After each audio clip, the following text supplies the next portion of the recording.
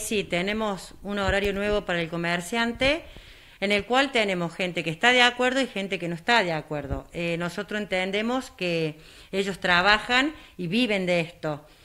Eh, vamos a controlar el horario de un cierre a las 20 horas. Eh, te vuelvo a repetir, tenemos los que están de acuerdo y los que no, no están de acuerdo y no cierran por ahí. Eh, ustedes se van pasadas las 20 horas, obviamente que le van notificando. ¿Se han elaborado eh, algunas actas, multas con respecto a esto de no respetar los horarios? Sí, nosotros pasamos, pasadas las 20, les avisamos que tiene que estar cerrado el comercio, damos otra vueltita, volvemos. Si no, ellos no han cerrado, labramos un acta en el cual después pasa el juzgado de falta y la jueza determina la multa que se le va a, que corresponde que tienen que pagar. Lamentablemente que comenzó la pandemia, uno de los temas que siempre se vino hablando y que ya lo hablamos también en otra oportunidad, que tiene que ver con las llamadas fiestas clandestinas. Hoy quizás no se hagan con la frecuencia que se hacían antes, pero sí, por ejemplo, hay reuniones sociales que tampoco están permitidas. ¿Cómo es el control que vienen realizando con respecto a eso, dado que ya estamos hablando de casas de familia, por ejemplo? Exactamente, tenemos las famosas fiestas clandestinas, son reuniones familiares ahora, le hemos cambiado el nombre, dijeron los chicos. Eh, se juntan 20, 30 en una casa de familia, donde nosotros llegamos con la compañía de la policía, por supuesto, no vamos a ir solos, eh, no podemos ingresar, eso siempre les digo a los chicos. Si golpeamos la puerta, llamamos al dueño de casa, que más de una vez los hemos topado con personas que dicen que eran dos, eran tres, y terminamos sacando 20 personas de adentro del domicilio.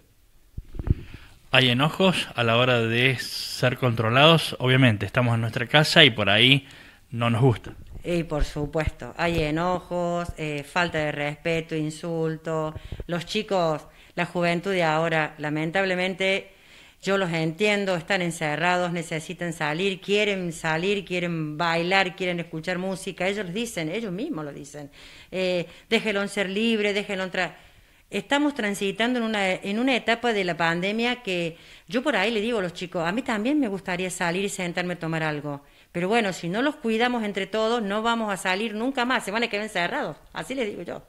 Sonia, ¿hay gente que es reincidente en estos reclamos? Sí, Sí, tenemos, tenemos gente que, que ya hemos ido dos o tres veces, se les ha labrado un acta, por eso te digo, le labramos el acta para que después tengan que venir y presentarse al juzgado.